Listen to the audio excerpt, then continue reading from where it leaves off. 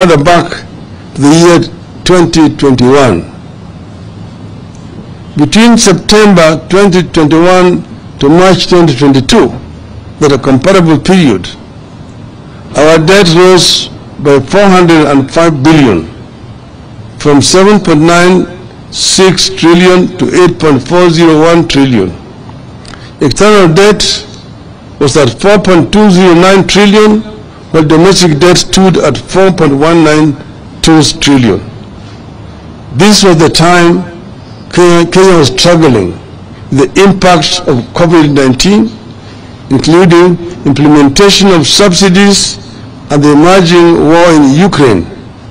But our total debt was still lower than what Ruto has incurred in six months' time.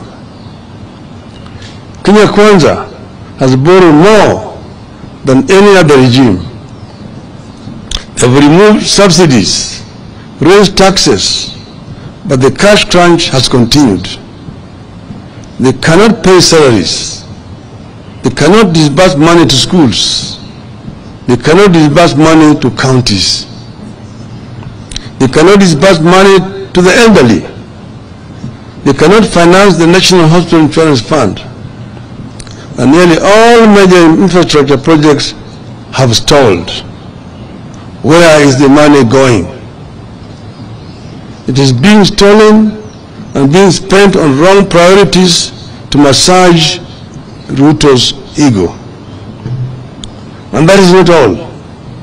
Quietly, Ruto is trying to change the country's debt ceiling from the current absolute number of Kenya shilling 10 trillion to a moving number of 55% of GDP. And right now they are trying to bring an amendment in parliament that will remove the parliamentary authority to sanction increase of debt. The debt level is already 60% of the GDP.